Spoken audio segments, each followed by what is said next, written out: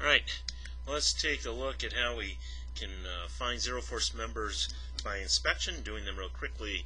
Right? Let's uh, go back and remember rule of thumb number one. If we have three forces at the joint, two of them are collinear but the third is not, then the third will be zero. Or the other rule of thumb that we have is if two forces only are at the joint, then both must be zero. So let's take a look at what we've got here. We've got a um, a joint H here that has a reaction and then three forces, so a total of three, but none of them are collinear, so the rot doesn't apply there. We come over to I, got one, two, three, four, five forces, so no go there. J, one, two, three, four, five, nothing there. K, one, two, three, four, five, nothing there. L, one, two, three, but not collinear. So nothing directly associated with the bottom chord.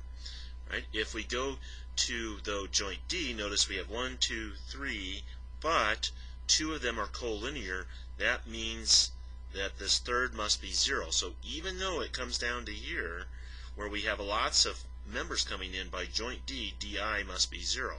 Likewise, when we look at joint E, another T-type joint, the third one must be 0. And look at this, that leaves us down here at joint I, ultimately, that AI is the stem of this inverted t, it must now also be 0. But you can only get there by first figuring out di is 0,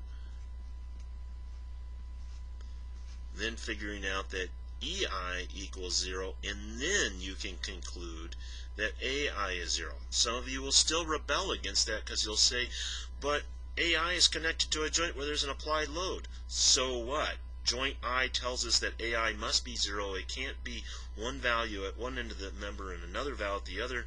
If that was the case, this is how we send rockets to the moon. Build a little truss, put a little load on there, and kablammo, we'd have instant acceleration. Doesn't work that way, right? But it's a good question to go back and say, well, then how does this structure resist these loads? Well, you still have one, two, three non-zero potentially force uh, members here at joint A to help support the effect of uh, the supplied load P. So we're, we're actually still okay there. Then you say, well, if that's the case over here, don't we have something similar over here? And you betcha we do. Go to joint F, and you then prove that FK equals 0. Go to joint G, and GK will be 0. Then you can go to K, and that makes ck equal to 0. And A, one more here, because look at this big T joint up here at, at uh, B, then we've got a T joint, and therefore BJ is also 0. Now, after going through all this, if you're saying, well, I get the pattern matching, but I don't understand why, go to T3.1 where we prove these rule of thumbs, number one and number two, and you need to be able to not only identify these this quickly, but also be able to go and prove why these values are the way they are. Right? Now, before we go, I'm gonna I want to do one thing here. Now, if we've got zero force members, then in a sense we could remove them and we still have a stable structure.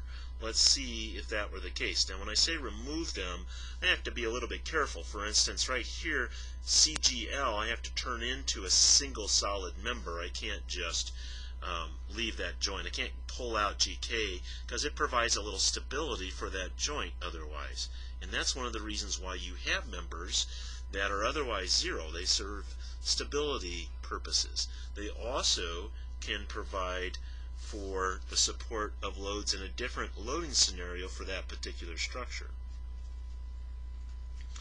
Okay, so here's what our truss then ended up looking like after we remove and then we fix the joints where we took away members and this is certainly a stable truss and can handle that load so uh, we're okay in that regard.